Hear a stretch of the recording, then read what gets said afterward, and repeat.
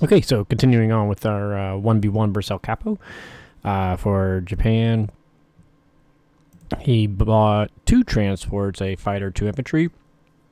As you guys know, when I do my UK Blit, normally if they buy anything less than three transports, that's a signal towards lean towards going ahead going sticking with KGF rather than KJF.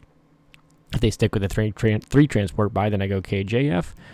Uh, he did choose to use his carrier battleship to take out my cruiser, so his battleship was able to absorb any hits, so he did not lose anything. As others, if you've been watching mine go, they do the two fighters and they've lost a fighter. Uh, I think that's what happened in the team game, actually. Um, however, he did find himself. Uh, I, have been chatting with him a little bit on offline. Uh, in a predicament where we had two subs, fighter, bomber, still hitting Sea Zone 61, and originally he was going to put his carrier to protect his transports, but then he realized that cruiser, battleship, destroyer was not a great defense versus two subs, fighter, bomber. so he switched it out, meaning he's got just a destroyer protecting his two transports. I got my bomber, one, two, three, four, five, six, or six. So here once again, uh, we'll be able to take out, or most likely take out, the destroyer and two transports. It's definitely worth a shot. Um, the only thing that I, I, what I was really playing with is, okay, what could I do? Could I save my bomber? Right? So, you know, I hate to lose the bomber in doing it because we're going to lose 12 IPC to get, you know, to kill 14 and 8, so 22. So yes, it's good, but more even even if it wasn't negative, even if it was negative, the tempo effect on Japan is still huge, regardless either way. So um, it's worth the shot, even if I do have to sacrifice a bomber. But what if I don't have to? Right? I got four infantry. He's got three infantry up here. We've got a couple fighters we could potentially move up into that zone. Although we really need that U.S. fighter over here to protect TJ, so we can't really count on the, the U.S. fighter helping because we really need him and TJ. And really, honestly, truly, I think I need my Russian fighter down here as well because he will have tank blitzing, infantry artillery, bomber, and battleship hitting there. Um, so I really need to put two fighters in there to be frankly honest. This fighter, though, he can get one, two, three, four, so we'll be able to use him on the Ukraine attack and get back. US can get back. We could get the UK fighter up here. And I was looking at, well, what if I attacked? What if I went three infantry and artillery against his three infantry? It's like a 55% chance of winning that. And then landed, move my infantry over. Then I could have an infantry, two fighters, and a bomber. And if I took that, then that would be great because then this fighter that could go one, two, three, hit there these two fires can go one, two, three, hit there, land here. These two fires can go one, two, three, hit there, land there. All five of those fighters would be taken out of the equation. The only thing that could hit me would be the bomber then, so then I'd be safe. But again, we're talking about like a 55% chance of winning that. Um, if we don't win it, then we've got five fighters and a bomber hitting whatever I put there. And even one infantry, two fighters, and a bomber, that ain't that ain't gonna do it. Plus, you'd have whatever infantry survive my attack too, potentially. So kind of risky, and I know putting a lot of money in there. And it, at the very least, it had to be the bomber and the Russian fighter that would be stuck in there. And so that's pretty high, would be a pretty high value target for him if it did not go well. Um, so I'm a little bit leery on that, especially since I'm leaning towards KGF anyways. If it was KJF, then killing out the, you know, killing and trading off Japan units would be good. But I really think we're looking at a KGF at this point because he lost a fighter for Germany, so he's a little bit behind there. Japan, if we kill out these transports, we'll put him really behind. If nothing else, he built one transport low, so he's already a little bit behind. He'll be a lot behind if we kill those two transports.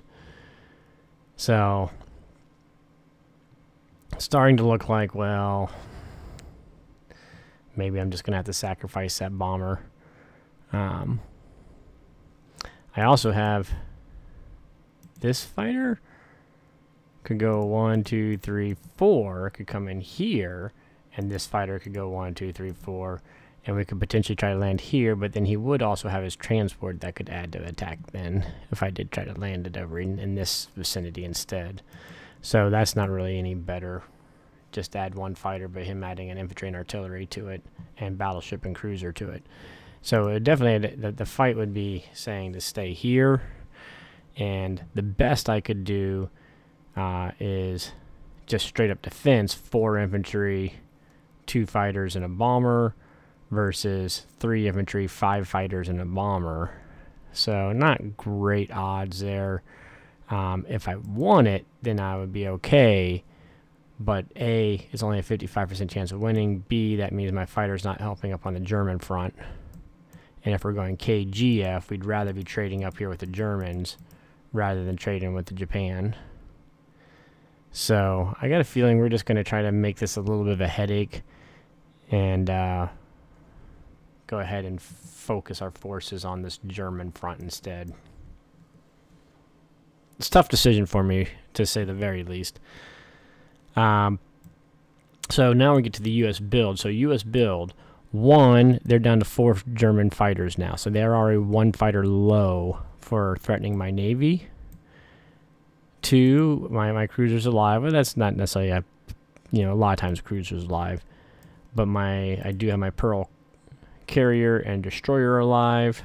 So I don't think I need to buy the extra destroyer. I think I can go ahead and do a three transport buy or or at, at the very least a two two transport and you know save my money to spurge next turn or I'm gonna get a little extra money I can spend. I don't need to buy a I don't need to buy carrier destroyer. So we definitely need to get I'm, I'm, I'm still going to stick with the carrier because that helps tempo as well as helps dead zone. The Sea Zone, as any fighters here, will help dead zone Sea Zone 14 from the battleship so that we will have that dead zone so I don't have to land my fighter on Gibraltar like I was thinking I was going to have to do. Uh, he can just be sitting on the, chilling on the, safely on the carrier and still dead zone Sea Zone 14. Um, you know, actually, as I said, I think I do need to move the fighter there because I need him for dead zoning 16, 17 now that I think about it. Anyways, we'll have the other fighters coming in here. we'll still be able to dead zone 14, and we'll have the fighter on Gibraltar. And, uh, you know, we'll, we'll, we'll go that route. So we definitely want two transports. So now it's a matter of how do we spend that last 14 on between, we need some ground, right, to match up our transport. So we got four guys we're going to take. So we're going to take three infantry and the tank out this time. So we're going to be leaving an artillery here. This transport's going to be bringing these two guys over, but he's going to need those two guys, right? Um, so that leaves us a an AA and an artillery. So we need two guys at least for our two transports. Now our two transports at least are got units in them. And so then it's a matter of, okay, we've got an infantry and an AA that we can start working over to Canada that could potentially meet a transport that's built this turn in season 11. So that's normally how I go about it, is to go ahead and build me a third transport. But I am going to have a transport living that I could go ahead and build two infantry instead this turn. And I'm going to stick with infantry. That my transport here is going to live if I take Morocco, because one, two, three, four, he can't hit me then I could come back and pick them up here and immediately pivot shift up this way. Or I could bring the build the transport to try to get up here and then bring him up with a build next turn.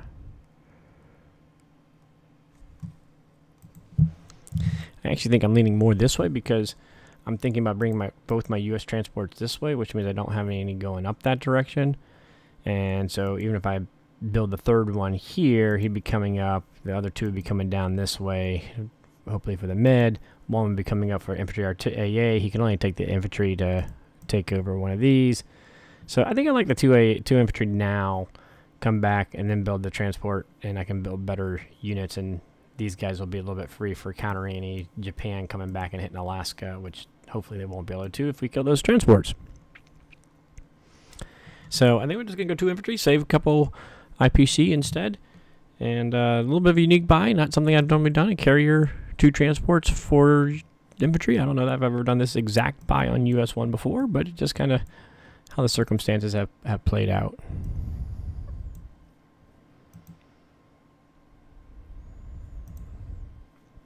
Now, either U.S. or Russia could take um, Kwangtung down in here. Uh, I think I'm gonna give the uh, give it to the U to the Russians actually, and we're just gonna move these U.S. guys on back because I like having those two to attack somewhere else later on. So we're not going to attack there. I don't think we. Oh, yep, we do get these guys attacking. That's right. We're going to go ahead and take Morocco. We're going to sacrifice the the transport.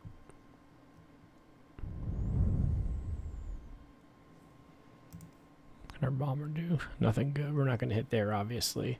I believe that's our only U.S. attack, right? Right. Just gotta talk to myself sometimes.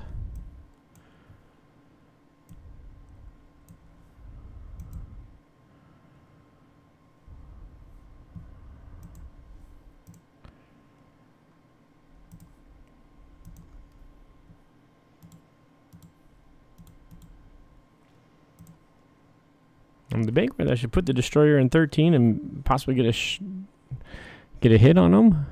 I think I might do that actually. I mean, he can hit there, but you know, he runs that risk of me taking out another uh, airplane. And we'll have enough.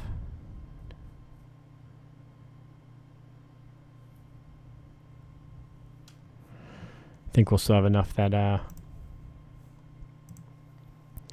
We'll have everything, everything that we want to be dead zoned appropriately dead zoned. One, two, three, four, five. So from here, he can come back. He can come one, two, three, four, five, six. So he can hit these three zones. One, two, three, four. One, two, three, four, five, six. He could land on those actually. One, two, three, four. He could land into one of those or land in one of these if UK land takes one of those. Um, Gonna bring that cruiser up. He'll be threatening Sea Zone 14. So yeah, we're gonna go ahead and move that fighter on up that way. We're gonna move that fighter on over there. This guy on over there. Boy, it's been a while since I've done, done a KGF. I'm almost uh, forgetting my US one move, though. I don't need the sub to go back, right? Oy. I'm be a little rusty on my KGF bits here.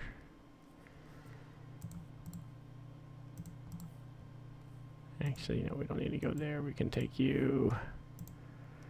Sorry about that. You can go that way.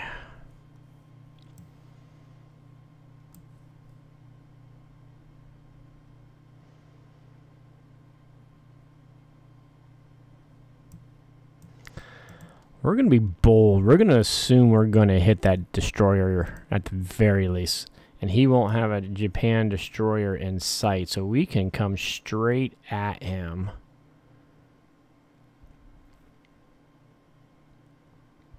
Because he's going to want to build, have to rebuild his... He's going to have to rebuild his uh, transports. I've got these two subs I can hunt him as well. So they'll be coming into the fray up this way and pressuring him. So we could go 58 where he couldn't block us. We could go 59, 51 where we could easily come on back down. I think we want to stay in range of 64 though, right? Is there any advantage to 59 over 58? 59 can get to 61, so can they? They can get there. So I, I think we're, we're gonna come up, up. We're gonna be a little more aggressive and go to 58.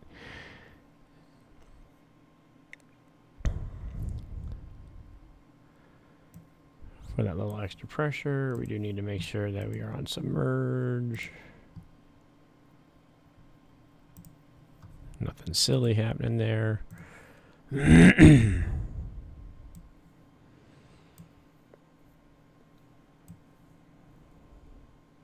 oh, these guys. Don't want to forget about these guys.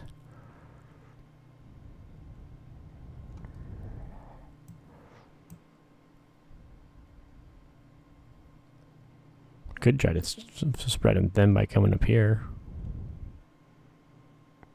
But I think we're just gonna come. We're just gonna pull back.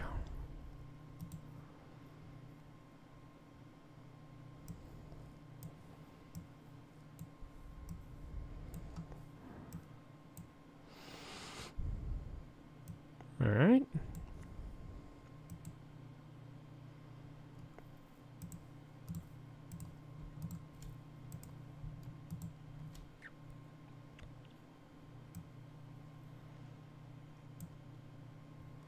So we do have four, five, six, seven, eight, nine, ten transportable units, and one, two, three, four transports.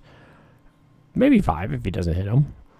Um, so I'd like it because two of these are AAs, and so even if we don't, so if we don't use the AAs, we can still bring him back, bring him over.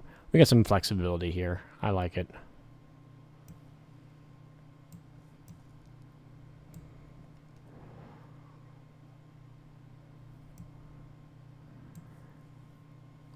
Made sure I was safe from him, right? One, two, three, four, five, six. Okay. Six, yeah. And Japan's bombers, where were they? One, two, three, four, five, six. Okay. For a second there, I thought I may have left him out in the in the dead man zone. All right. I think that's it.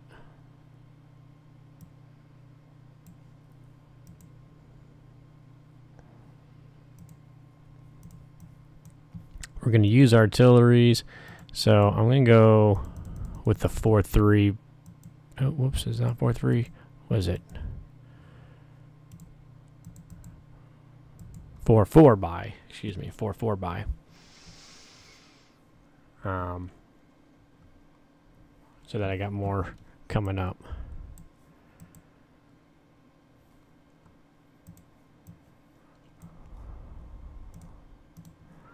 Going off the top of my head. I'm going to double check these in a second here.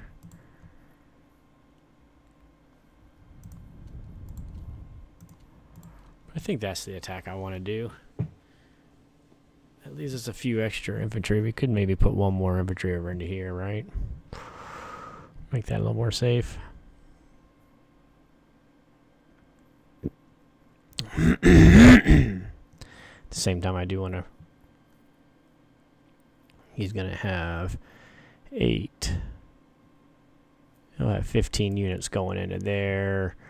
We've got 7, 8, 9, 10, 11, 12. My two planes makes 14, so yeah, we're not going to have that dead zone. He'll, he'll be able to stack that G2 regardless. Oh well, so be it. So that does mean we could use uh, an extra infantry of one of these here or there if we want to go a little bit heavier. So I'm going to double check that real quick. Yeah, as is, I gave myself 57 and 60% chance. Doing this puts them both up to 80% chance. And that's going to keep West Russia more safe. So I think I'm, we're just going to go aggressive. So we're going KGF, and we're building up uh, U.S. pretty quickly, hopefully. And the U.K. pretty quickly. We're going to go ahead and uh, be a little more aggressive there. And that'll also let me be able to bring my tanks down here in case I gotta plug any bleeding down this way.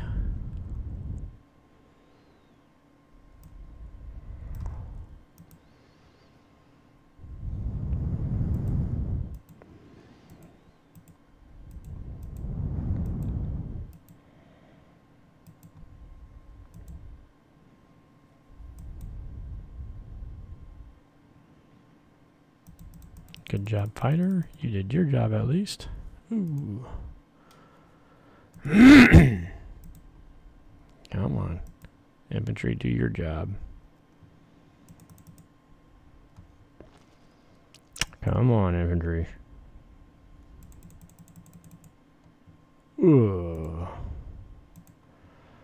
Oh, this is pretty important here. Five. Oh, man. That got a little bit scary. Because the thing is, is if he doesn't get there, then these five tanks can blitz to West Russia or Caucasus. Uh, plus, of course, he has his transport going to Caucasus. So, made me sweat that one.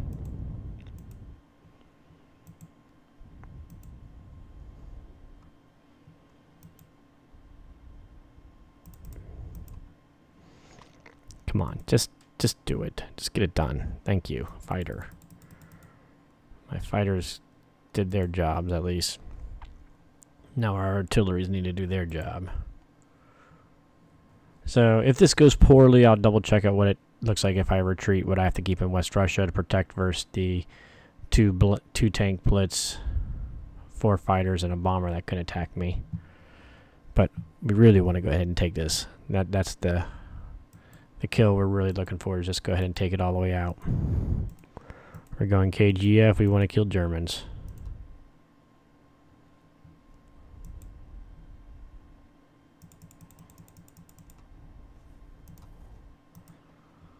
One for one. We can do one for one. All right, three. Three's great. Three for one's even better. Hate to see those artilleries get get toasted next turn, but nonetheless, that means more chances we get one or two hitbacks at least. But most importantly, that means West Russia is 100% safe. So I'm going to bring my tanks down this way.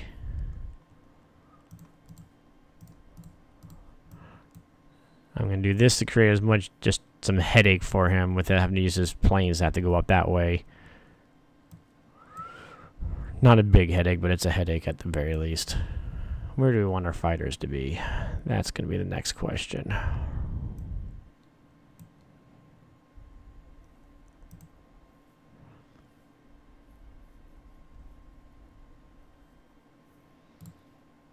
Put one in there.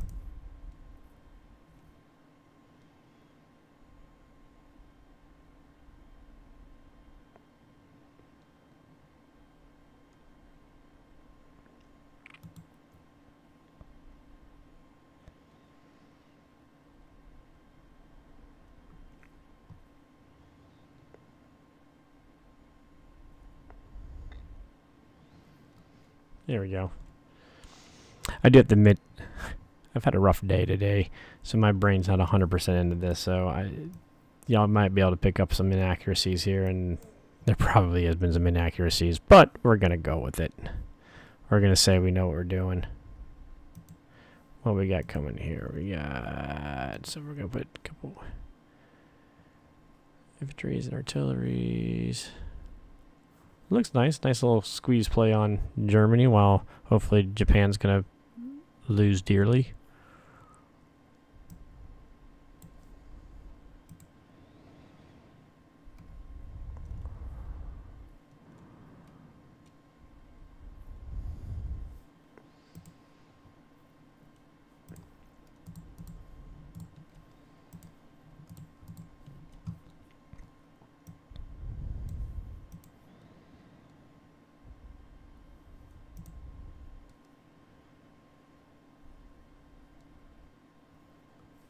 All right. Um, he could try and take his bomber here. I did not double. I should have double checked my defense profile, make sure I don't have bombers to go before infantry, because that would be an interesting play to take a take a shot. One, two, three, four, and then land them over here. Uh, I didn't think about that. I should have double checked, made sure my defense profile went the other way, which I honestly I can't remember what my defense profile looks like as far as bombers and infantry on my um, would be the U.S.'s, right? So uh, on my submerged profile, I don't even know what that is. I'm curious now.